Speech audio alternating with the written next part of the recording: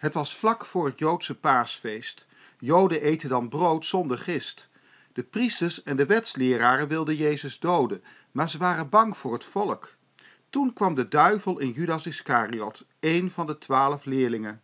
Judas ging naar de priesters en de officieren van de tempel.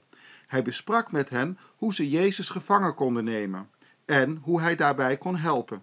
De priesters en de officieren waren daar blij mee en ze beloofden om hem daarvoor te betalen. Dat vond Judas goed. Hij begon na te denken over een goed moment om Jezus gevangen te nemen. Want dat moest gebeuren zonder dat het volk het zou merken. Het was de eerste dag van het paasfeest. Op die dag moeten Joden een lam slachten voor de paasmaaltijd. Jezus stuurde Petrus en Johannes op weg en hij zei: Ga de paasmaaltijd klaarmaken, zodat we vanavond kunnen eten.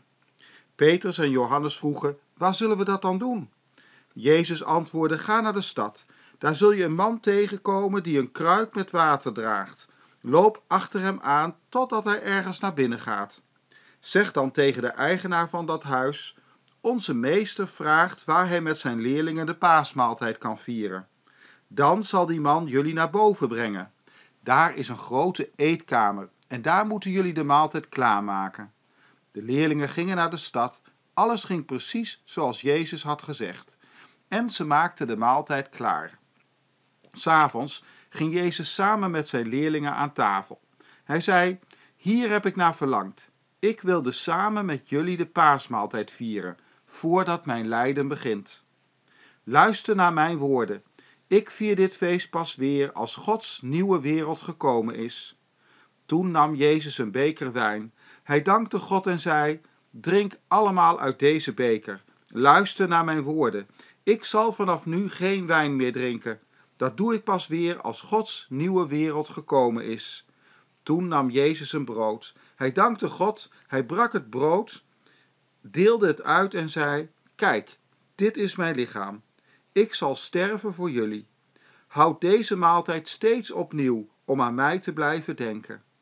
Na het eten nam Jezus een beker wijn. Hij zei: Als ik gedood word, zal mijn bloed vloeien, maar daardoor zullen jullie gered worden. Dat heeft God beloofd. Deze beker is daarvan het teken. Jezus zei: De man die mij zal uitleveren zit hier aan tafel. De mensenzoon zal sterven. Dat is van tevoren zo bepaald. Maar wat een ramp voor de man die mij uitlevert. Daarna kregen de leerlingen ruzie over de vraag wie van hen de belangrijkste was. Jezus zei: Koningen heersen over hun volk en machthebbers willen dat iedereen hen dankt voor hun goedheid. Maar zo mag het bij jullie niet gaan, want de belangrijkste moet zich gedragen alsof hij de minst belangrijke is. Als iemand een leider wil zijn, moet hij alle anderen dienen. Want wie is belangrijker? De man die aan de tafel zit of de man die hem eten brengt? De man die aan tafel zit natuurlijk, maar ik ben juist bij jullie gekomen als een dienaar. Jullie zijn steeds bij me gebleven, als ik het moeilijk had. Daarom zal ik koningen van jullie maken, zoals mijn vader het ook gedaan heeft met mij. In de nieuwe wereld mogen jullie eten en drinken bij mij aan tafel.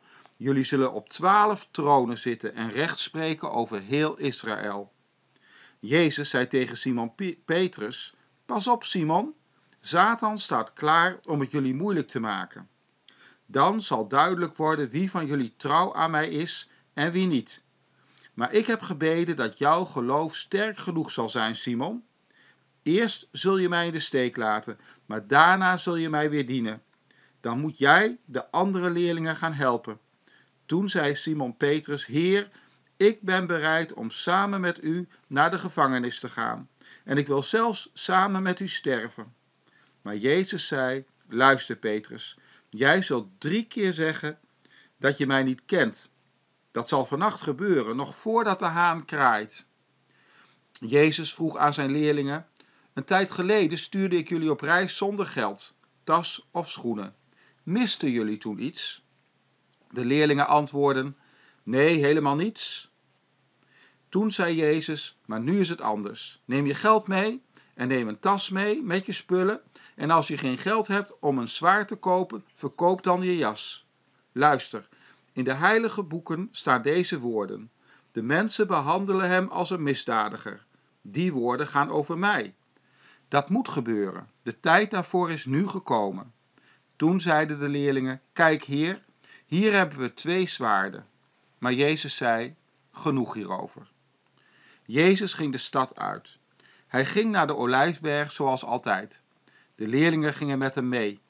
Toen ze op de berg waren, zei Jezus: Bid God om kracht, zodat je geen verkeerde keuze maakt.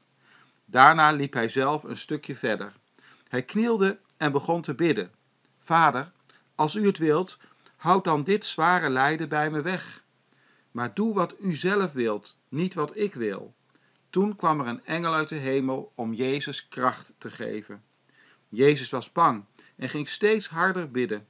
Zijn zweet viel in grote druppels op de grond. Het leken wel druppels bloed. Toen Jezus klaar was met bidden, stond hij op en ging naar zijn leerlingen.